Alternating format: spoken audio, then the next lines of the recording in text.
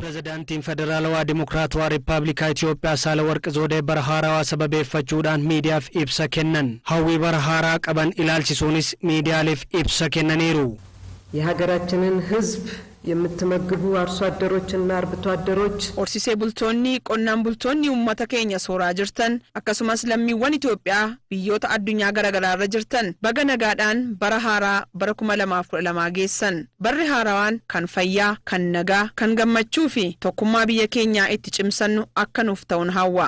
Bara haaraa wayita simannu haamlee guutuudhaan jireenya gara fuula duraa jiraachuudhaa fi wayita of qopheessinu ta'uu qaba. Barri haaraan mul'ata gaarii kan nuuf kennu ta'uu qabas jedhaniiru. Bara darbe keessa rakkoolee dabarsine akkuma jiranitti ta'ee bu'aalee gurguddoo baratti goonfannedhas jedhan. Bara darbe keessa lammiiwwan biyyattii hirmaannaa dhimma biyya isaanii keessatti gama siyaasaa dinagdee fi hawaasummaatiin hojjetamaa turan keessatti akka hirmaatan ta'eera. Haaluma kanaan hirmaannaa fi walqixxummaa dubartootaa mirkaneessuu fi yeroo ammaa balballi banameera. የሴቶችን እኩልነት ለማረጋገጥ በሩ ተከፍቷል። Mirga dubartootaa mirkaneessuuf carraan banameera. Carraan argame kun akka hin cufamnee fi dubartoonni hedduun keessa akka darban gochuudhaaf hundi keenya ga'ee keenya ba'uu qabna. Ilaalcha garaagaraatiin lammiiwwan biyyattii walirraa fagaatanii turan akka waliin mari'atan ta'eeras jedhan. Waggaa haaraa wayita simannu waan keessa dabarre dagachuu hin qabnus jedhan pireezidaant Saalawarq. Keessattuu seenaa biyyattii keessatti waan hin baratamiin walitti bu'uu fi wal fonqolchuun raawwateera.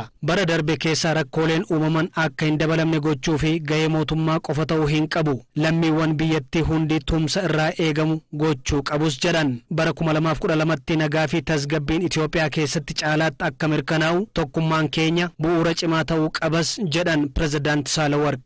አንድነታችንን ካጠናከር መሰናክሎችን ሁሉ አራግፈን ወደ ማማው መውጣታችን Tokkummaa keenya yoo jabeessine gufuuwwan jiran darbuun keenya oolu abbootiin keenya qabatamaan wanti nutti agarsiisan rakkoo keessatti liqinfamnee kan hafnu osoo hin taane jabaannee dhaabachuu akka dandeenyudha.